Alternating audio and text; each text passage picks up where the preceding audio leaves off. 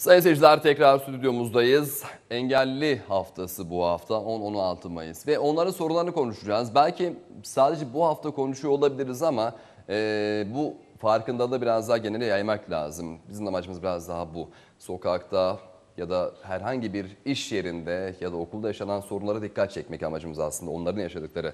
Biz görmüyoruz ama gezince fark ettik. Onları ilerleyen dakikalarda göreceğiz. Videolarımız var, görüntüler, röportajlar var.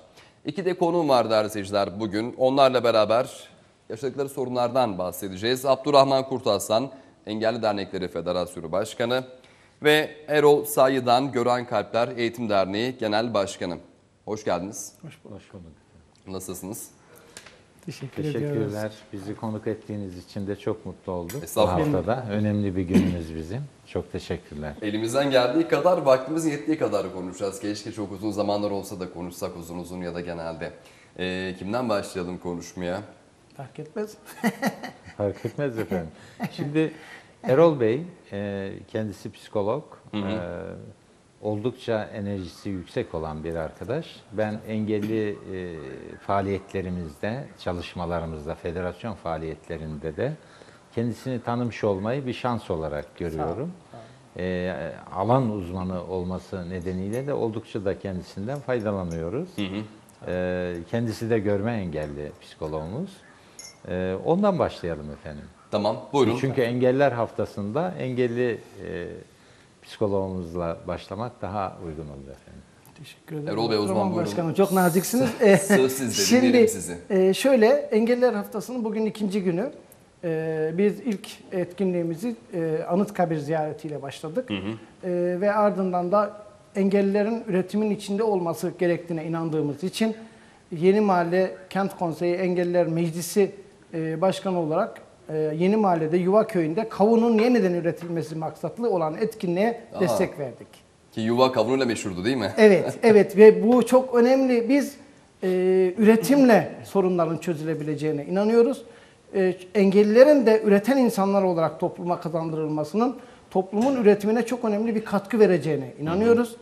E, o yüzden biz e, engellilere olsun, diğer alanlarda olsun yapılan bütün yatırımlar aslında temele yönelik yapılması gerekiyor. Yani şimdi eğer engellilerin eğitimini zamanında engelliliğe var olduğu andan itibaren başlatırsanız daha sonraki zamanlarda bakım ücreti vermek zorunda kalmayacak devlet olarak.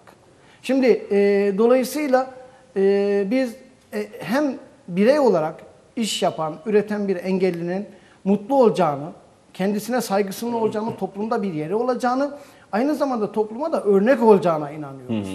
Bu çok önemli. Tam bu noktada Erol Bey, e, bu motivasyon konusu aslında tüm hastalıklarda da mesela kanser hastalarında da bilhassa önemli. Hatta e, Aziz Sancar da aynı şeyi söylüyor. Motivasyon çok önemli diyor. Kesinlikle. E, bir engelli bireyin motivasyonu, çalışması, üretim yapması, başarılı olması ve verimli olması, onun hayata tutulması açısından ne kadar önemli? Ee, şöyle düşünün. Şimdi e, engelli bir birey toplumun yoğun içselleştirilmiş duygularıyla bakıldığında daha çok acınacak, e, yardımcı olunacak. Ee, hani deyim yerindeyse yemekse yemek önüne konacak, suysa su önüne konacak varlıklar olarak büyük toplum tarafından böyle algılanıyor. Şimdi Maalesef biz bunu değiştirmek istiyoruz. Şimdi e, bunu değiştirebilmemiz için de önce engelli bireyleri motivasyonunu güçlendirmemiz gerekiyor. Ön, engelli birey ailelerini doğru bilgilendirmemiz gerekiyor ve toplumun bu içselleştirilmiş ön yargılarına karşı mücadele etme bilincini aşılamamız gerekiyor. Şimdi e, engelli aileleri işte sokağa çocuğuyla birlikte çıkmakta, herhangi bir alışveriş merkezine gitmekte, e, herhangi bir sinema seyretmeye, parka gitmek vesaire gibi şeyler yapmak konusunda ciddi sıkıntılar yaşıyor. Niye? Çünkü çevrenin onun dikkatli bakışları, o e, acımalı bakışlarını görmek istemiyor. Oysa e, bunlar çözüm değil. Yani nereye kadar, ne zaman kaçacağız bunlardan? E, bir gerçeğimiz var olduğuna göre bu gerçekle mücadele edebilmenin yolu bu toplumu değiştirmek konusunda yetiştirmektir. Biz psikologlar e, toplumun ve bireyin yani önce bireyin sonra toplumun değişebileceğine inanırız. Eğer bu inanç olmasa zaten psikologluk yapamazsınız. Son bir soru soracağım sonra size geçeceğim. E, siz bu alanı sadece engelli bireylerle beraber mi yürütüyorsunuz psikoloji alanındaki çalışmalarınızı yoksa genel bir çalışmanız var mı? e, hem engelli birey hem ailesi hem de toplum eğitimi. Üçü birbirinden ayrılamaz zaten. Ama gerçekten e, siz de toplumun e, yine engelli olduğunuz için çok iyi anlıyorsunuz galiba ve motivasyon sağlama noktasında, empati kurma noktasında, onların yaşadığı zorluğu anlama noktasında pek zorlanmıyorsunuzdur galiba. E, Şimdi şöyle motivasyondaki en büyük sıkıntı yani engelli bireyin e, katılımındaki motivasyonda en büyük sıkıntı engelli bireyin de bu toplumun değer yargılarını içselleştirmiş olmasıdır. E, bir kere e, şu e, hani öğrenilmiş çaresizlik dediğimiz kavram burada da geçerli. Engelli birey daha çok hani en başta ailesinden başlayarak e, kendisine yaklaşımda bir e, yanlış yaklaşım söz konusu olduğu için e, bunu içselleştiriyor. Aynı şekilde toplumun diğer bireyleri gibi ve kendisinin artık bir işe yaramayacağını düşünmeye başladığı andan itibaren bu iş O bitiyor. da hayattan uzaklaştırıyor. tabii. Evet ama biz önce şunu yapabiliyor, yapmaya çalışıyoruz. Çünkü biz gören kalpler olarak e, yaklaşık 220 tane öğrencimiz var. 1 yaşında da var, 60 yaşında da var. Hepsine şunu aşılamaya çalışıyoruz. E, diyoruz ki sen yapabilirsin. Sen e, şu konuda yeteneklisin.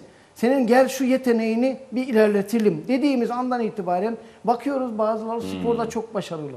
Mesela Türkiye Türkiye Cumhuriyeti tarihi boyunca takım sporlarında e, hiçbir zaman olimpiyat birincisi olamadı. Ama bizim görme engelli kızlarımız 2016 Brezilya Rio'da dünya golbol şampiyonu oldu. Ve yendikleri şey ülkeler kim biliyor musunuz? Çin, Amerika Birleşik Devletleri, Kanada, İsrail gibi dünyanın devlerini yendiler. İşte bu çocuklar e, şuna inandılar. Biz evet engelliyiz ama biz başarabiliriz. Bu inandırıldı ve 11 yıllık bir mücadelenin sonucunda çocuklarımız bugün e, Türkiye'nin yapamadığını engelli olarak yapmış oldular. Erol Bey bir laf var sonra size geçeceğim. O laf çok doğru. Mesela aslında bedensel bir engel değil. Gerçekten kafalardaki engel. Zihniyetin engelli olması ve fikirlerin engelli olması. O aslında her şeyi engelleyen bir durum. Diğerleri aşılabiliyor e, farklı şekilde. Onlar e, bir şekilde göz ardı edilip tekrar hayat devam ediyor aslında. Ve o hayata mücadele de yine o engeli göz ardı ederek yine sürüyor bir şekilde. Evet. Hayat gerçekten bu şekilde. Devam. Ee, Abdurrahman Bey size geçelim isterseniz. Engellerin istihdamından bahsedelim biraz da. Sizce yeteri kadar engeller istihdam ediliyor mu? Son yıllarda epey bir çalışma yapıldı aslında. Devlet de bu konuda sınavlar da açtı, alımlar da yaptı ama hala galiba duyuyoruz, sesler yükseliyor, şikayet var. Evet. Şimdi efendim Türkiye'de engellere dönük e, çünkü engellinin kendi ihtiyaçlarını kendisi karşılayabilir hale gelmesi, kendi e, kazancını kendi elde etmesi çok önemli. En önemli şey engeller için. Bu nedenle çok çeşitli meslek eğitimler istihdam süreçlerine katkı sağlamak amacıyla yapılıyor. Ee, Türkiye tarihinde engellere dönük e, tabii bir- birçok problemlerimiz var idi. E, halen de devam eden problemler var. Ama son yıllarda bir olumlu gelişme e, oluyor, gözleniyor. Tabii bu olumlu gelişmelere karşın yine de e, çeşitli Avrupa ülkeleri düzeyinde değiliz. Ama Tam istediğiniz tabii olmadı galiba, Tam evet olmuyor. istediğimiz olmuyor ama olumlu bir süreçte gidiyor.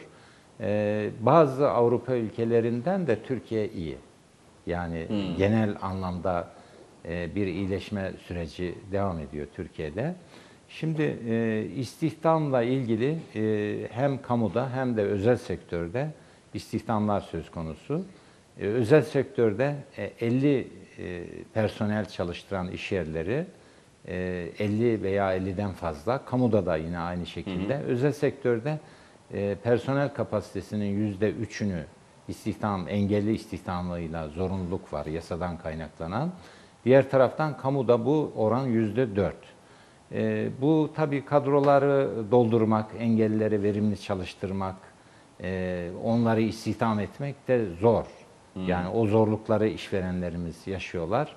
Biz örneğin model olarak çeşitli illerde engelli istihdamları gerçekleştirdik. Gördük ki e, işverenlerimiz, onların insan kaynakları müdürleri veya engellinin çalıştığı departmandaki iş arkadaşları engelli iletişimini e, yapamıyorlar. Engelli nasıl verimli çalıştırılır bunları bilemiyorlar. Çok çabuk e, stres ve işte negatif enerji yükleniyorlar. E, bu bu yani bu istihdam sürecinin çok kolay bir finaline dönüşüyor bu negatif enerji yüklenme olayı. Biz bunu gördüğümüz için e, işverenlerimize ve onların personellerine yönelik olarak eğitim programları düzenledik. Bu eğitim programlarından geçen işverenlerimiz de e, onların personellerinde engelli istihdamı kalıcı hale geldi. Yani engelliyi artık verimli çalıştırıyorlar. Engellinin e, istihdamına ilişkin, o süreçlere ilişkin bir problemle karşılaştıkları zaman o krizleri kendileri çözüyorlar. Çözemedikleri zaman da hiç e, negatif enerji yüklenmeden bize e, danışıyorlar. Bizim psikologlarımız devreye girerek bu sürecin devamlılığını sağlıyoruz. Yani Türkiye'de genel anlamda e, engelli, biraz önce e, Sayın Psikologumuz Erol Bey'e, e, çok değerli e, uzmanımız, kendisini tanımaktan bir kez daha çok mutlu olduğumu belirtiyorum. E, engelliler birbirini anlıyorlar, biliyorlar. Burada problem engellinin birbirini anlaması veya aradığımız çözüm onların birbirini anlaması falan değil. Onlar zaten anlıyorlar. Toplumun diğer kesiminin engellileri anlamasına dönük bir çabanın içerisinde ol- oluyoruz. Zaten, zaten bizim genelde sorunumuz hep bu. Biz Evet. e, sadece engelli konusunda değil, biz bizden olmaya zaten anlamıyoruz ve empati kurmuyoruz. Evet. Ancak empati kurduğumuzda zaten anlayabiliyoruz Evet. çok rahat şekilde. Mesela empatiyle başlıyor aslında. E, izninizle aslında sorunlara geçeceğiz galiba. Evet. Engellerin yaşadığı sorunlara. Kısa bir arkadaşımız video çekti Sıla Aksaç sağ olsun. E, yollara baktı. Tabii. Yürüme bantlarınız var sizin Evet. yerlerde. Oraya park eden araçlar varmış. Evet. Bunu görüyoruz genelde ama Sıla'nın çektiği e, ve Necmi arkadaşımızla beraber çektiği görüntüleri bakalım arkasından sorunlarla devam edelim. Tabii. Şu an Ankara'nın göbeği Kızılay'dayız. Yukarıda engelliler için, görme engelliler için sarı şeritler koyulmuş durumda ancak buradan nasıl çıkacaklarını bilmiyoruz.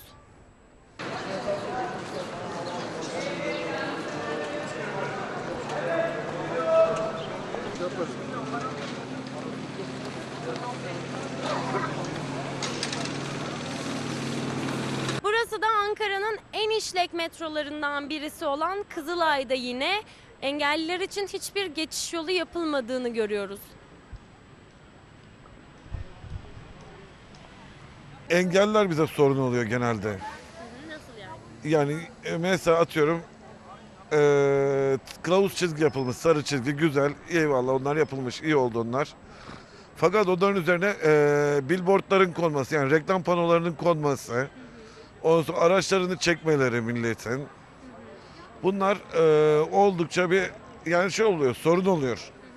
Ve e, sadece 10-16 Mayıs ya da 3 Aralık'ta hatırlanmak değil, yani bizler de toplumun içerisindeyiz. Her zaman toplumla birlikte olmak. Yani toplumdan soyutlanmamak istiyoruz yani böyle bir şeyler var. İş olanakları nasıl? İş olanakları ne kadar olsa da gene de e, şeyler var. Yani bu aralar tamam işe engeller bayağı istihdamları arttı ama gene de yani yetersiz. Orası bozuk. Ama bak işte mesela bozuk bak işte al. Yok yok. Bak işte bu.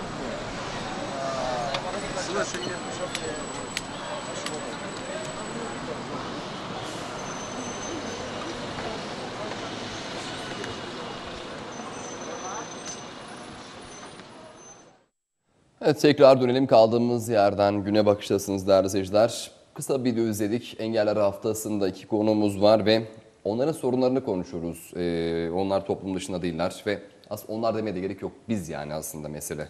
Ee, sorunlara baktığımız zaman işte yürüme bantları olsun, oraya park eden araçlar olsun, yani kaldırma park eden araçlar var. Yaylar zaten yürümekte zorlanıyor. Üstüne üstlük bir de serbantların üstüne park ediyor insanlar ya da tekerlekli sandalyeleri ineceği yerlere park ediyorlar. O sorunlardan başlarsak sizce aslında bu sorunun cevabı belli ama toplum yeteri kadar duyarlı mı engellerin yaşam alanlarına? Ee, Yani Türkiye'de en son e, Sabancı Vakfı'nın yapmış olduğu bir anket var. E, Bu anketin sonucuna göre e, bizim toplumumuzun yüzde yetmişi aşağı yukarı engellerle komşu olmak istemiyor. Yüzde Yani yetmişi. yüzde yetmişi evet. Yani e, bu e, tabii şunu gösteriyor bize. engellilerle ilgili toplumsal farkındalık yaratmak için her e, faaliyetimizde buna çok önem veriyoruz. Mesela Avrupa Birliği projelerinde buna çok önem veriyoruz. Oldukça fazla projelerimiz var. E, bu engelli eğit- meslek eğitimlerinde, toplumsal olarak düzenlediğimiz çok çeşitli aktivitelerde tamamıyla engelli farkındalığına dönük e, çalışma yapıyoruz. Buna çünkü toplumumuzun çok ihtiyacı var. O zaman bilinç konusunda bir eksiklik var toplumda galiba. Evet, bilinç bilinç konusunda eksiklik var. Onu tabii eğitimle e, çözmek. Yani bunu buradan diyelim ki bu doğrudur, bu yanlıştır şeklinde bir konferans niteliğinde bir konuşmayla böyle klasik yöntemlerle değil, ekonomik erimli, kendi içinde bir proje bazlı faaliyetlerle e, toplumsal farkındalığı yaratmak çok daha etkili oluyor. E, bu konuda bizim e, yakın e, geçmişte yaptığımız engellilerin sağlık hizmetlerinden faydalanmasına dönük olarak e, kamu hizmetlerinden ne ölçüde faydalanıyorlar şeklinde uluslararası bir proje yapmıştık. Bu projeye e, 5-6 ülkeden yaklaşık 40 tane engelli ve onların refakatçileri geldiler. Türkiye'de bizim de dahil olmamızla çalıştık. Çok çeşitli hastaneleri falan ziyaret ettik. E, kamu hizmetlerine dönük faaliyetleri, bu söylediğiniz yol ve çevre kentsel düzenlemeleri falan incelediğimizde e, çok ciddi sorunlarımız olduğunu gördük. Mesela e, tabii proje faaliyetlerini doğal olarak yürütüyoruz. Yürütürken Türkiye'ye gelmiş olan e, yabancı uzmanlar Türkiye'de eğlenmek istiyorlar, görmek istiyorlar tarihi yerleri. E, şunu gördük ki hem özel sektörde hem kamu sektöründe tuvalet ihtiyaçlarını karşılayacağı bir tuvalet bulmakta çok zorlandık. Yani Kızılay'da veya başka bir yerde, kafede eğleniyorlar. Engelli tekerlekli sandalyesiyle tabii tuvalete girmek istiyor. O, o tuvalet uygun değil. Başkasına bakalım, başkasına bakalım falan çok aramıştık. Ee, tabii bunların e, farkına varılıp bu e, sorunların toplumsal farkındalıkla çözümlenmesine ihtiyaç var. Bu doğrultuda ciddi anlamda çalışmalar yapmaktayız efendim. O zaman Erol Bey'e geçelim. Erol Bey'e sorayım. Ne Evet. sorunlar yaşıyorsunuz toplumun Şimdi, içinde, e, sokakta, iş yerinde, herhangi bir yerde? Şimdi şöyle bir şey var. Her şeyden önce diyoruz ya engelli bireyin ailesinin ve toplumun eğitimi birlikte olması gerekiyor. Ee, Bizim zaten sorunlarımızın e, temelinde biraz önce park, işte o yollar üzerinde yapılan park eden arabalar vesaire. Bunların e, temel sorunu aslında toplumun bu konudaki bilinç eksikliği. Yani ben her zaman şunu söylüyorum. Engelli park yerine engelli olmayan bir araç park edildiğinde toplumun diğer bireyleri kardeşim sen buraya park edemezsin. Bu yanlıştır senin yaptığın demediği sürece Türkiye'de sorunlar çözülemez. Hatalar devam eder. Devam eder. Çünkü e, onu denetleyen bir toplumsal bilinç e, oluşması gerekiyor. Ama bu toplumsal bilinç de e, hani böyle e, küçük çaplı projelerle çözülebilecek gibi değil. E, temel yaklaşım şu olması gerekiyor. Şimdi okul öncesinden başlayarak, bu toplumun %10'u engelli. Okul öncesinden başlayarak engelli bireylerle aynı ortamlarda, aynı faaliyetler içerisinde nefes alan, engelli olmayan bireyler e, topluma kazandırılmadığı sürece bu toplumsal bilincin yükselmesi çok zor açıkçası. Bunun yolu da eğitim. Her şeyden önce eğitim ve okul öncesinden başlayarak yapılan eğitimler. Bu çok önemli. Çünkü e, ileriki yaşlarda engelli bireyi herhangi bir engel grubunu hiç tanımadan, bilmeden, görmeden üstelik de gördüğü hani toplumun geri kalmış kesimleridir, engelli kesimleri doğal olarak. Çünkü sosyoekonomik olarak öyledir bu. Ee, dolayısıyla o gördüğü ilk algılamalar, ilk yaşantılardan olumlu sonuçlar çıkaramama ihtimali çok yüksek olduğu için e, bildiği, tanıdığı e, örnekler çok yeterli olmadığı için ne yapıyor? Sokakta bir insanı gördüğünde, bir engelliyi gördüğünde nasıl yaklaşacağını bilemiyor. Ondan nasıl yardım edebilirim sorusunu sorabilecek gücü kendisinde bulamıyor. Şimdi biz bu, bu onların suçu da değil. Bu engelli olmayan bireylerin suçu da değil. Ee, gerekli desteği alamayan ve bu nedenle sokağa çıkamayan engellinin suçu da değil. Şimdi düşünün tuvalet ihtiyacı en temel ihtiyaçtır değil mi? Evet. Ee, tuvalet ihtiyacını gideremeyeceğini, giderip gideremeyeceğini bilemeyen bir insanın sokağa çıkmasını düşünebilir misiniz? Çıkması Mümkün değil. neredeyse. Evet yani mesela yine aynı şekilde biz olaylara yaklaşırken toplumsal olarak hep bir yönümüzde eksik yaklaşıyoruz. Bir bütünü görmek yerine şimdi e, sokaklarda Avrupa Birliği yasaları gereği işte görme engelliler için sarı çizgiler yapıldı. E, milyonlarca para harcandı bu iş için. Çok güzel yapılması gerekiyor ama bunu destekleyen başka şeylere de ihtiyaç var. Nedir? e, görme engelli bireyler bu yolları kullanacaksa onlara bu konuda bir eğitim verilmesi gerekiyor. Şimdi bu eğitim verilmedi. Biz sivil toplum olarak bu eğitimin verilmesi hususunda ilgili ve yetkili birey, şey, kurumlarla birebir görüşme yaptık. Ve hiçbir şey istemedik. Dedik ki biz üniversiteyi devreye sokuyoruz. Siz de gelin bize destek olun. Bu eğitimi verelim.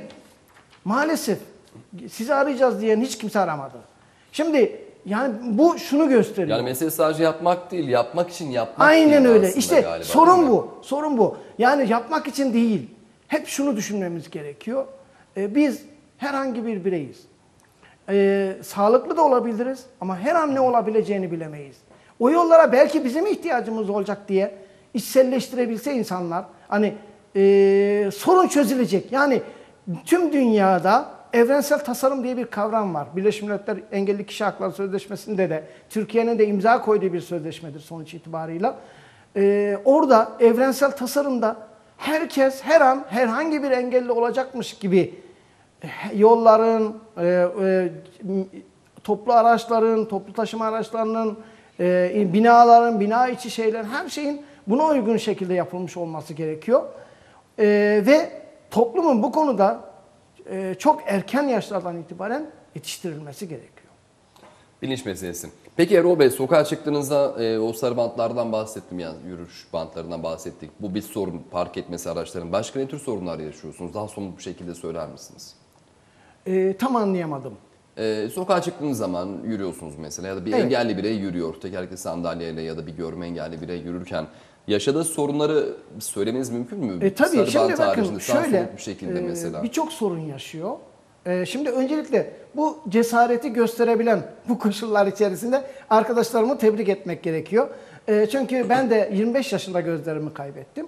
Kaybettikten sonra herhangi bir e, eğitim falan almadan çünkü ben üniversiteyi kazanmıştım, gözlerimi kaybetmiştim. E, ilk yaşadığım şey şu idi. E, bir komşum geldi dedi ki ben seni her gün üniversiteye kolundan tutar götürür geri de getiririm. Dedim ki ya böyle bir yaşantı olamaz. Ben her zaman birilerine bağlı olacaksam bu yaşantı yaşantı değil. Ee, ve o gün işte bir yerden baston edinilerek sokağa çıktım. Ve o gün bugün sokaklardayım ee, çok şükür. Ama bunu yaşarken kafamızı gözümüzü de kırdık. Duvarlara, direklere de çarptık. Kamyonlara da çarptık. Yani bunları yaşadık ama yılmadan yaşadık. Ee, ama şunu düşünün. Birçok aileyi düşünün. Kendi evladınızı düşünün. Allah göstermesin. Hani bir anda engelli olduğunu düşünün. Siz çocuğunuzu bu sokaklara çıkartabilir misiniz? Çıkartamazsınız. İşte e, dolayısıyla ailelere de yadırgamamak lazım. Niye çocuklarını niye sokağa çıkartmıyorlar? Niye hayatın içine sokmuyorlar? E, diye yadırgamamak lazım. Yani o noktada e, bedensel engeli biraz önce söyledim. Tuvalet ihtiyacının nereden gideceği belli olmayan bir bireyin e, sokağa çıkması o kadar kolay mı? Değil. Hatta çıkmaz bile. O ihtiyacı Çıkmıyor da giderecekse. zaten. Çıkmıyor da. Bakın biz alan çalışmaları yapıyoruz. Ankara'da Yeni Mahalle Engeller Meclis Başkanlığı yürütüyoruz başkanımla birlikte. Ee, inanılmaz şeylere şahit oluyoruz. Yani bunları kimse bilmiyor. Şimdi gidiyoruz adam 300 kişinin amirliğini yaparken bir kaza sonucu gözlerini kaybetmiş. Tüfekle yaralanmış. Ee, 13 sene kapının eşiğinden dışarı çıkmamış. Düşünebiliyor musunuz? Ee, bu insanları kazandırıp onları işte merkezimize getirip orada bağlama öğretip çünkü yeteneği varmıştı önceden. Bilgisayar, konuşan bilgisayar öğretip hayata bağladık. Şimdi de dışarı içeri girmiyor. yani böyle şeyler ki o şey kadar yapmak çok yaşıyoruz ki. E, Ankara'nın göbeğinde 3 tane kızı var. 30, 32, 34 yaşında. Tek bir okula gönderilmemiş. Ve bu çocuklar çok zeki kızlar. Yani ne verirsen e, bunların içerisinde daha sonra ilkokulu bitirip, liseyi bitirip, üniversiteye gidip işe giren kızlarımız var. Ama birilerinin illa elinden tutması gerekiyor. Yok böyle bir şey. Yani elinden tutamayan, tutulamayan yüz binler ne olacak? Bu soruları sormamız gerekiyor bizim. O zaman e, Abdurrahman Bey size geçeyim tekrar. Engelli Dernekleri Federasyonu Başkanısınız. Evet. E, birçok dernek bağlı, birçok dernek var bünyenizde. Evet. Tam Erol Bey'in bıraktığı noktadan başlarsak alırsak e, ne tür faaliyetler yapıyorsunuz? Engellerin toplumla beraber iç içe yaşaması için, daha çok hayata bağlanması için. Evet, şimdi Erol Bey'in bahsettiği gibi engellilerin tabii sokağa çıkmalarında oldukça güçlükler var. Bunu kendileri yaşıyorlar. Ama diğer taraftan baktığımız zaman sağlıklı insanların da sokakta yaşadıkları oldukça fazla güçlükler var. Tabii ki. Yani toplumsal olarak biz e, gerek e, toplu yaşam kurallarına, trafik kurallarına, kentsel yaşamdaki toplu yaşam kurallarına uymakta zorlanıyoruz. Yani bu toplumsal bilincin e, e, acilen tabii e, devlet politikası olarak ele alınıp bir eğitim sürecinin e, yaşatılması gerekiyor. Ancak bu şekilde bir toplumsal farkındalık olabilir. Biz de tabii Engelli Dernekleri Federasyonu olarak tamamıyla engellilere dönük e, yaptığımız bütün faaliyetlerde toplumsal farkındalığı öne alıcı işlemler yapıyoruz. Her her konuda onu yapıyoruz. Şu anda e, Makedonya'dan gelen e, üç tane engellimiz var, engelli gönüllümüz merkezimizde. Üç tane de anneleri var. 15 günlük periyotlarla Türkiye'ye geliyorlar. Yine 15 günlük periyotlarla e, iki engelli iki e, engelli annesini Azerbaycan'a gönderiyoruz. E, yine 15 günlük periyotlarla Makedonya'ya gönderiyoruz. Oradan hem alıp hem gönderiyoruz. Tabii bizim yaptığımız faaliyetler gerek Türkiye'de gerekse Avrupa'da oldukça e, yaygınlık gösterdi. Hatta e, biz tabii bu programdan sonra da konuşacağım. Makedonya'dan e, Sosyal Politikalar Bakanı e, ile görüştük. Onlarla da bir protokol im- imzalayarak bizim federasyonumuzda ve vakfımızda e, engelli e, politikalarına dönük bu iyileştirme faaliyetlerini bir devlet politikası haline getirmek. E, onu da e, tabii bizim ülkemizin deneyimlerini oraya aktarmak. Yani bu yolla uluslararası boyutta e, tamamıyla engellilerin e, toplu yaşam içerisinde gerek istihdam süreçleri olsun gerekse e, toplum içindeki yaşamlarını kolaylaştırıcı etki yaratacak her türlü faaliyeti e, bağlı bulunan derneklerimizle yapmaktayız. Bizim ayrıca Engelli Eğitim, Kültür, Sağlık, Spor Vakfımız var. O vakfın da şubeleri var. Benzer çalışmaları Yine eğitim, kültür, spor faaliyetleri e, galiba. Spor faaliyetlerini yapıyoruz. Bu faaliyetlerin içerisinde hem eğitim faaliyetleri çok ağırlıklı. Mesela geçtiğimiz yıl e, Erol Bey'in bahsettiği e, ihtiyaca karşılık olarak e, sanıyorum bine yakın e, engellimizi, çok çeşitli engel gruplarının dahil olduğu e, gerek Türkiye İş Kurumu'yla birlikte çalışmalarımızla, ortak projelerde, gerekse Milli Eğitim Bakanlığı'yla MESKEP projesi kapsamında meslek eğitimlerini tamamladılar. Onlardan 100 kadarı istihdam e, edildi şu anda istihdam e, içerisindeler. Bazı e, engellilerimizin kendi işlerini kurmaları için onlara çeşitli projeler yapmaktayız. Onlar kamudan veya özel sektörden hangi destekleri alarak işlerini geliştirebilirler, iş kurabilirler. Bu konuda onlara yardımcı olmaktayız. Böyle çok çeşitli, e, ağırlıklı olarak da uluslararası deneyimleri ülkemize kazandırmak için. Mesela engellilerde en büyük sorunlardan bir tanesi, e, ben e, ölürsem çocuğum ne olacak? Buna kim bakacak? Çünkü şu anda ben hayattayım, ben bakıyorum diye düşünüyor aileler. Bunun endişesini yaşıyorlar. E, tabii bununla ilişkin Türkiye'de çok çeşitli yöntemler var.